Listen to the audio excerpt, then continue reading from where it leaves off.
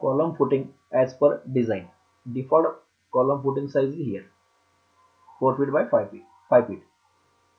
And change to 5 feet by 5 feet or etc then first select rbs1 for explore text. Then select fch command for change the column footing size.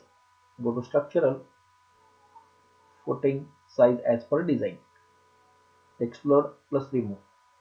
Command shortcut command rbs1 select text press enter then go to structural footing as per design change footing sizes.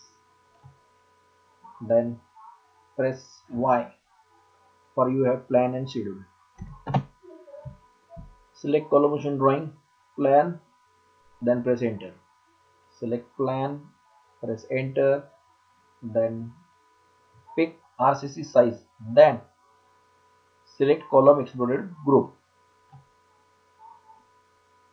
RCC size then column group press enter RCC size column group enter RCC size column group press enter enter.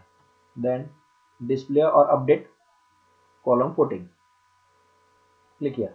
Shortcut command is cft click here then select your plan. Press two time enter.